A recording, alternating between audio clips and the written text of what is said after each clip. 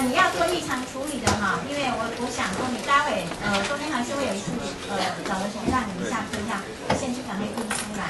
那我知道我加线的多少人，到时候才知道说分析上讨论怎么样去处理教师的问题。好，那我们刚刚呢就把六十六页讲的这五个交易，有些有些呢大概有两个讲的比较详细一点。其他呢大概就没有讲很多。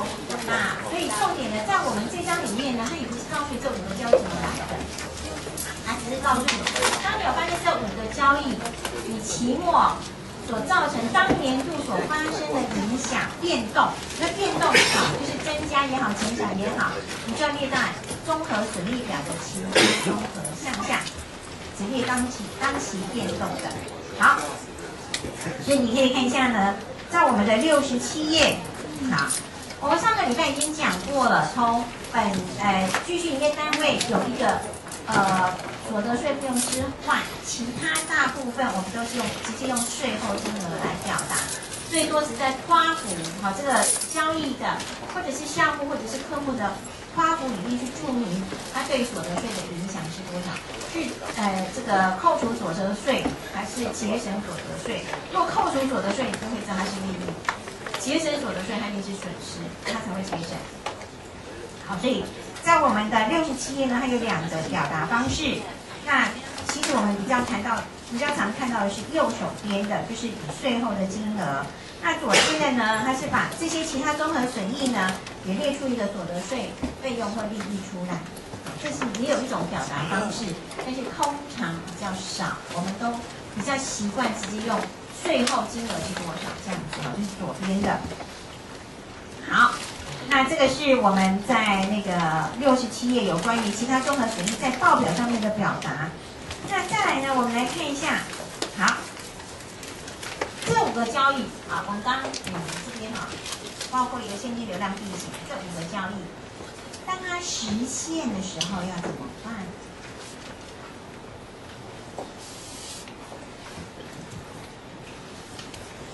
好，现金流量并行，这五个交易。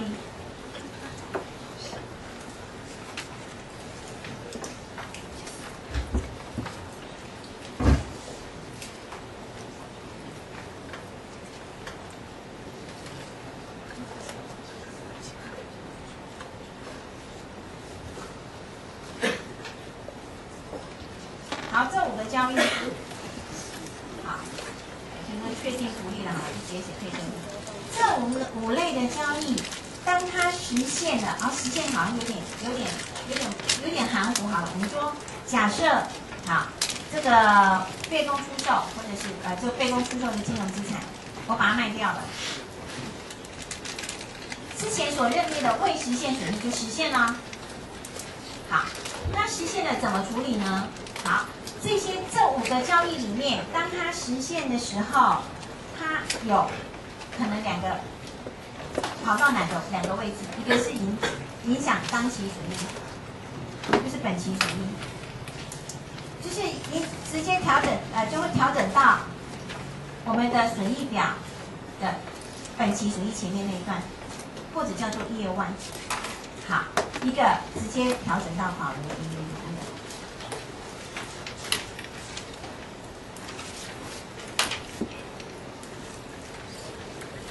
好，呢，就在我们的呃，应该其他重分类了。呃，这应该讲到它的重分类在六十八页。好，这个如果你拿到是第六版的话，这个地方有不一样的地方。哈，第六版的话，你就注意一下哈。好，我们来看一下呢，我们刚刚讲到说，我的其他综合损益，它如果实现了，好，那实现了要怎么办？好，要怎么处理？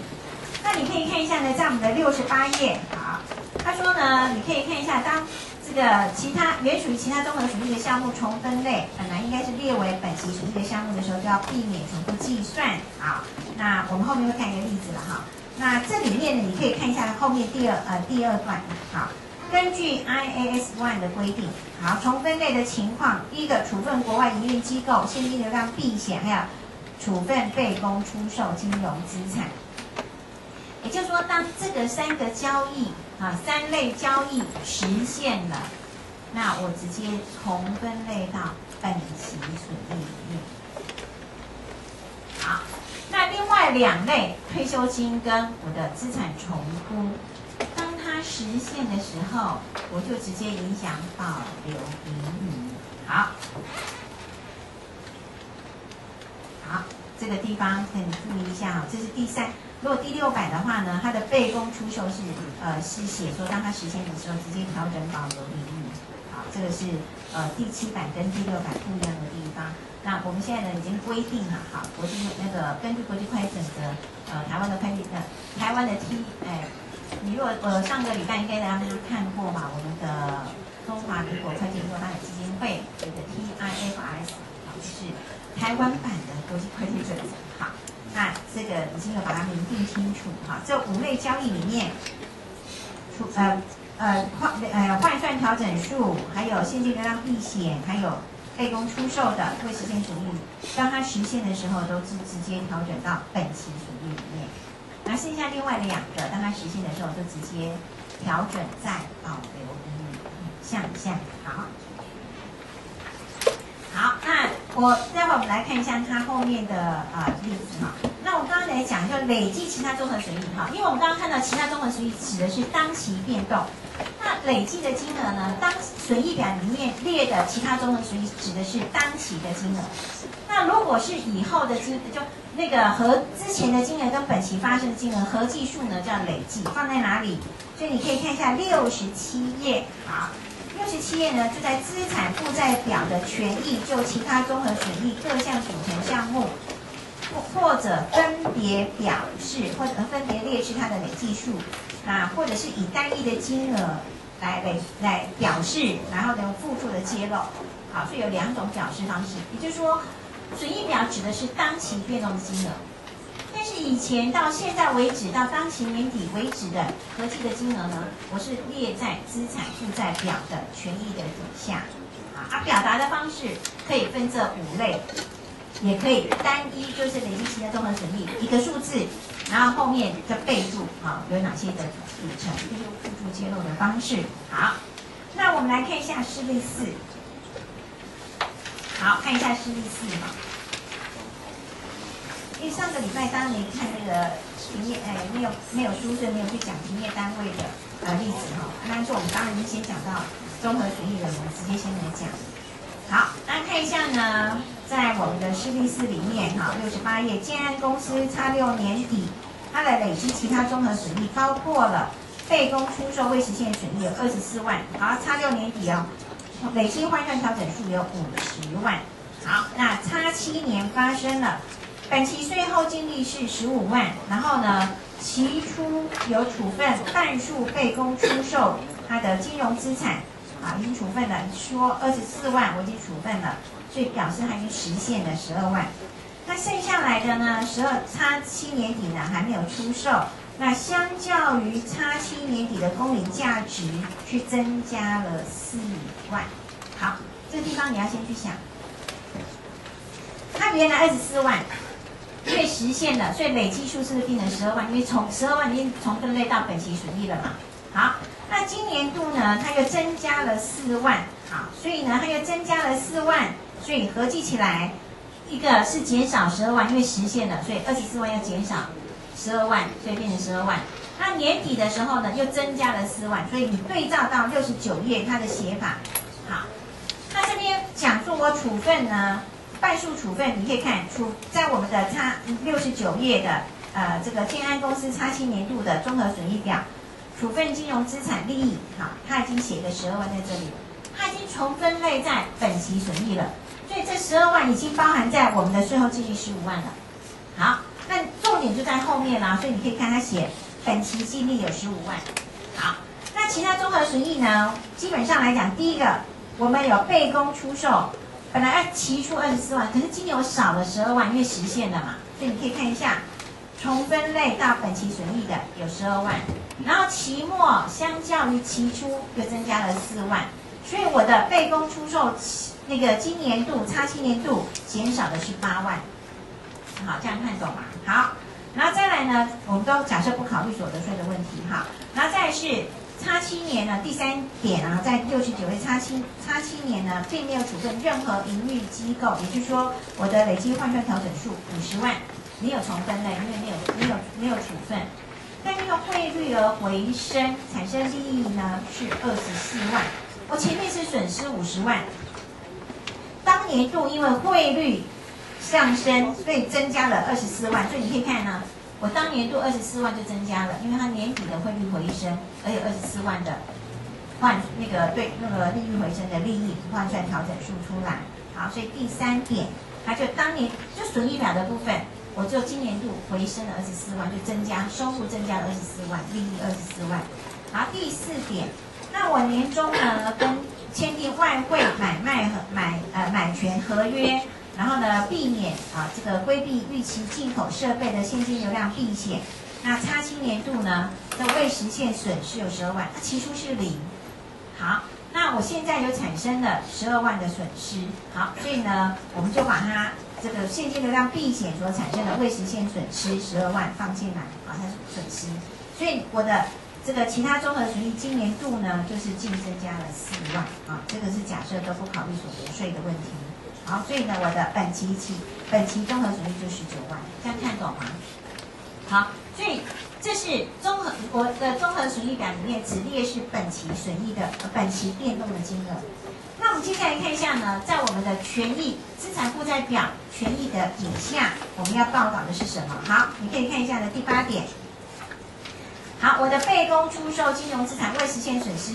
期初本来有二十四万，然后呢，我期末是呃，我是不是今年度调整了十万，变成是，呃，减少了十二万，然后期末又增加了四万，所以我有十六万。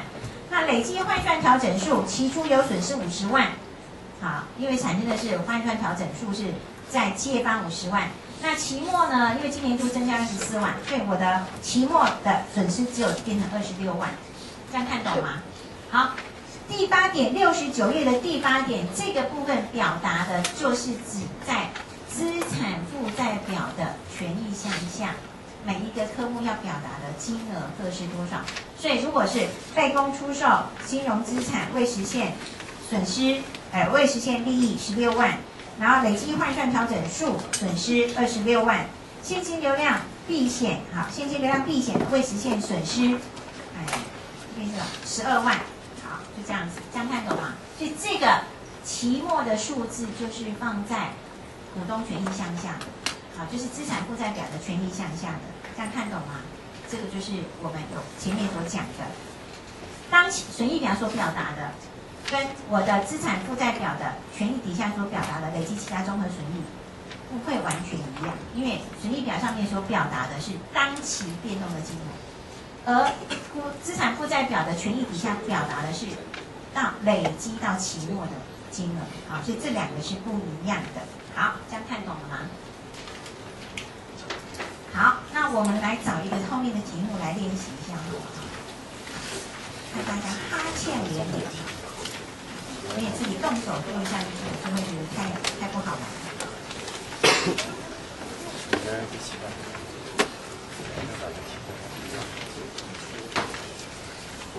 好，我们来看一下，好，啊，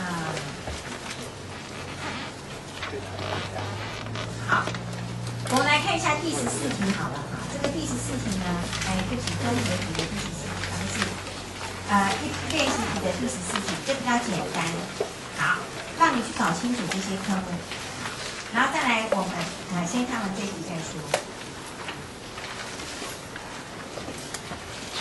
好，很快的看一下八十四页的第十四题，惠安公司他三年度有关综合损益的资料，营业费用、处分处分不动产、销货成本、外币换算调整数、税后的金额。好，外币换算调整数损失最后的最后数，然后被公出售增加的税后数。那你记得他写的综合损益好的资料。所以它都指当年度的数字了哈，他已经讲当年度损失增加，或者是呃这个呃损失增加，或者是利益增加的数字，所以都是指当年度的。好，还有利息费用、销货金额、现金增资、股票股利、所得税费用，这几个科目呢，如果我们在做练习的时候怎么做？其实这个题目呢，只让你去分一下。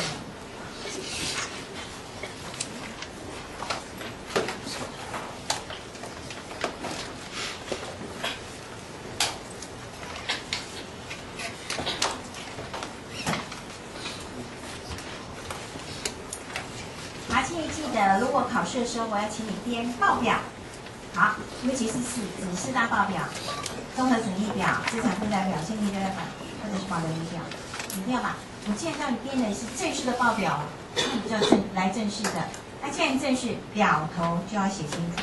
在考试的时候，我如果请你编这种表的话，除非我说部分，好，请你不编资产负债资产负债表部分，啊，有关于权利部分，那你不用那个表头没有关系。可是我如果让你编一个正式的报表，请你表头一定要写清楚。好像这个例子，惠安公司，好，这是综合损益表。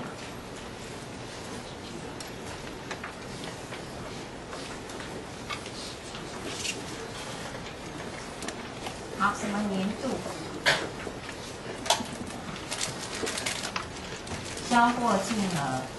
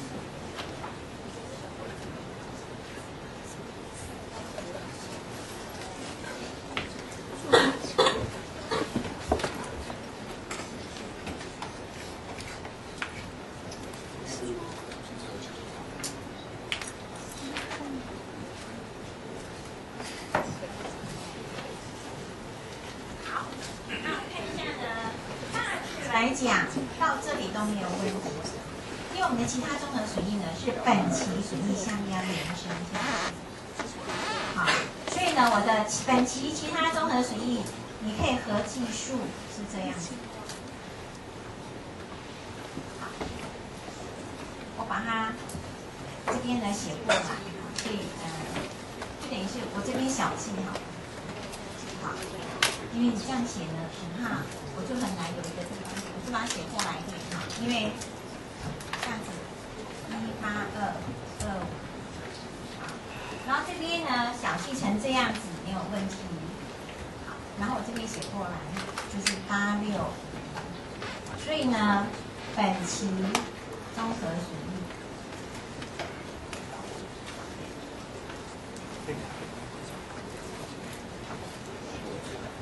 好，这是一七三，七三六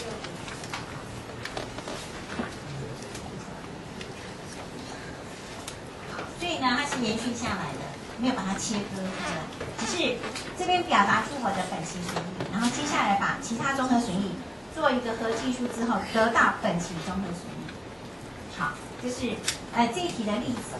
那其实另外一个我要看一下呢，是另外一个例子，就刚刚有讲到，呃，就是两个，一个是本期损益要报道的地方，一呃本那个综合损益要报道的地方，一个是股东权益，就是资产负债表里面要报道的。所以我们看一下十六题，好的哈。那十六题呢，哎，它前面给你这些资料。好，这里呢，你可以看到这个数字，你要看清楚时间点，差三年，哎，差二年的相关资料，八十四页哈。我们这一题讲，我们就休息一下，因为这一题里面才有把呃权益的累计的部分讲出来哈，所以我呃要要把这个题目呢跟大家讲一下，让大家看一下哈。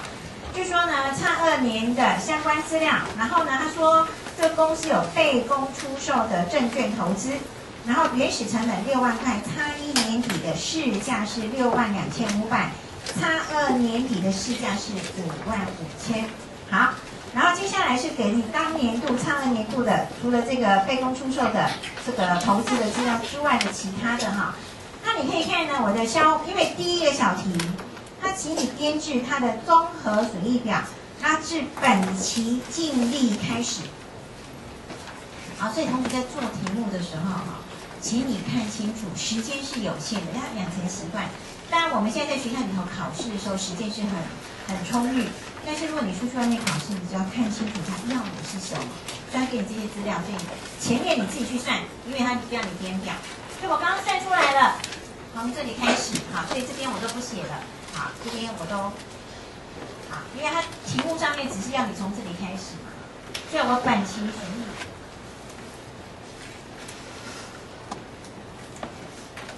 我算出来了，本期损益是五万五千，因为不考虑所得税。好，五万五千。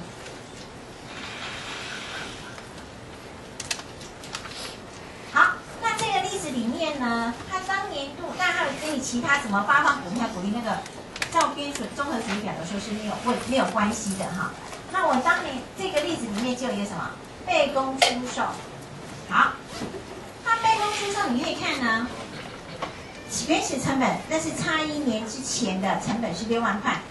那差一年底是六万两千五百，所以这里也告诉你哦，下面呢，呃，有告诉你说这个呃，差二年底的市价是五万五千，那你当年度的变动从六万两千五百调调整了五万五千，所以呢，我减少了七千五，好。所以我被公出售金融资产的未实现损失，本期发生的是损失，有七千五，啊七呃七千五，十七万。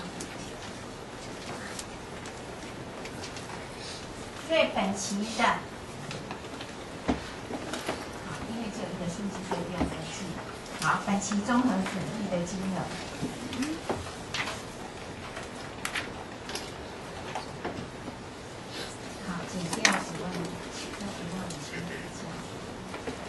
所以是四万七千五百，好，这是第一小题，让你做只有做这里而已。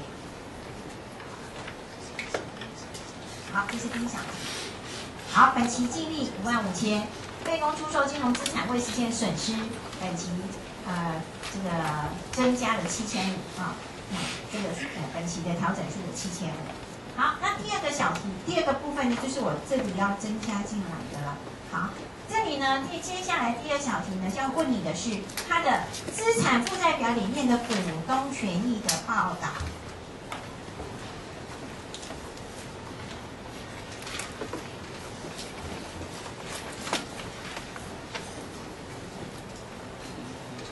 好，资产负债表因为它只报道股东权益哈，所以我就不在意。好，我我就不在意你要写它的表头，啊，像这个例子，它只是写。本期经历开始，他也不是编一个正式、很完整的报表，就你写不写表头，呃，我也不会很在意了哈。那我们来看一下呢，他要讲的是第二个要编资产负债表权益的部分。好，权益的部分呢，五本。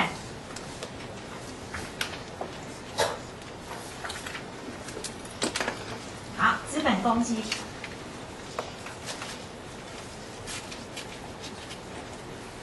保留盈余。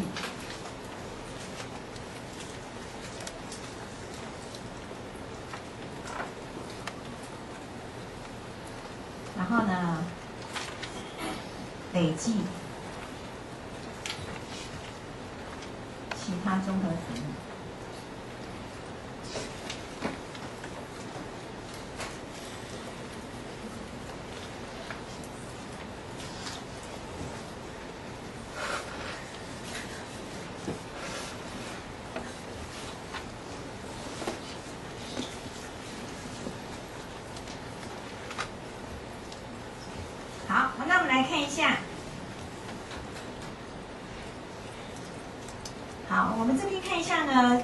我们的股本期初有十五万，因为当年度他们有告诉我有增资嘛，哈，所以这些呃股本啊、资本公积都没有变动。好，所以十五万，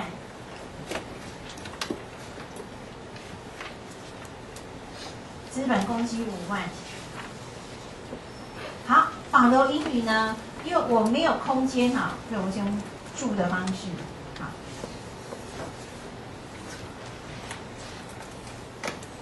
保留盈余以呢，你可以看期初他告诉你，期初告诉你呢四万五。好，我这边呢，如果我正在写一个保留盈余变动表啊，保留盈余表，我就简单一点点，期初。好，它有前期随意调整。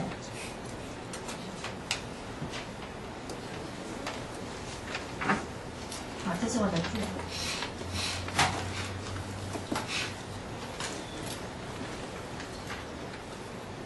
但是啊，我跟你讲，这是我写给你看的保留盈余表。如果你真的要写的时候，你不需要写，因为你只要把金额写出来就好。因为它的重点在于权益的那个那个资产负债表的权益的部分。它权益的部分呢，其实它没有在乎你每个数字要把它写得很清楚，这样懂吗？我现在只是写给你看而已哈。所以前期损益调整。因为待会我们会讲讲到保留盈表这个地方就是了，好，调整后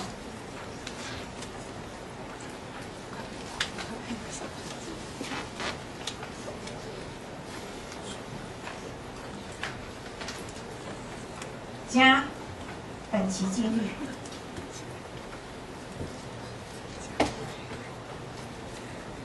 减鼓励支出。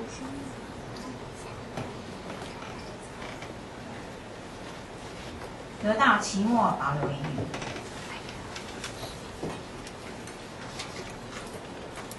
期末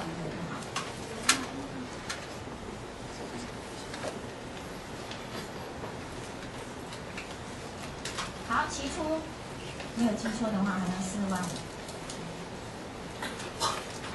好，这里告诉你的，差二年初保留万五千。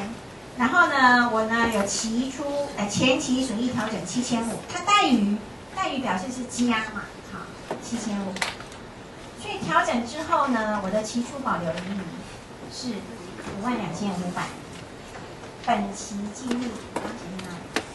五万五千。好，这边是不是有发放股利？好，发放股利两万五千。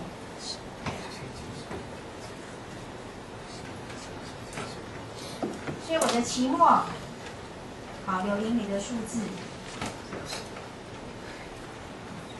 期末四万五千加嗯七千五百，然后加保留呃本期净利是五万五千，减掉两万五千，对，期末是八万两千五百。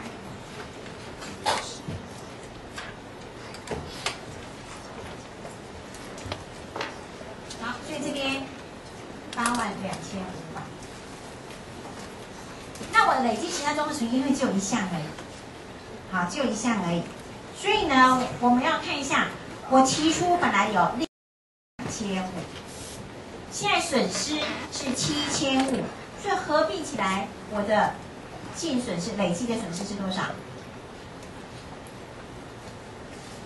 是不是五千？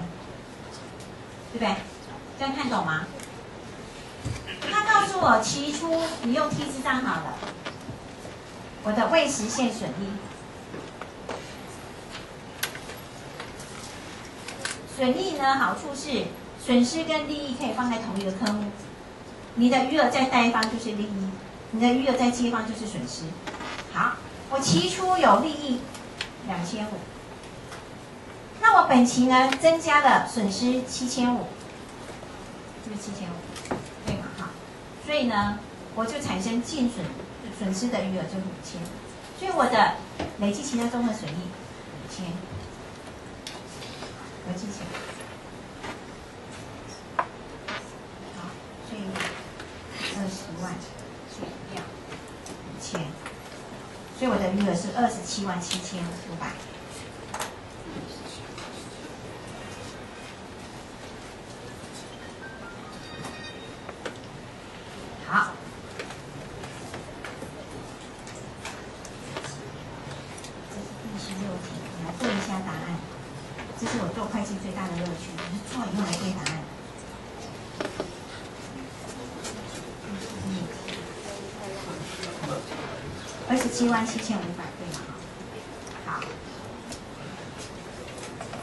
好，所以你可以看一下呢。在十六题就是六百二十六页，就这样而已。好，这个只是让你练习一下。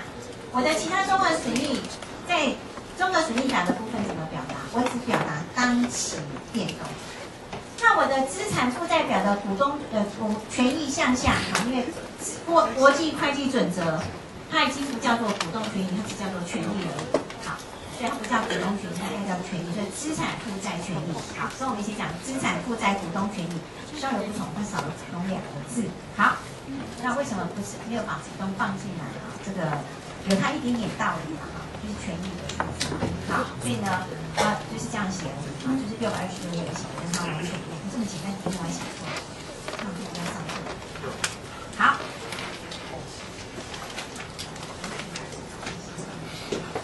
我发现新方面。先休息一下，待会我们再来讲保留英语的部分。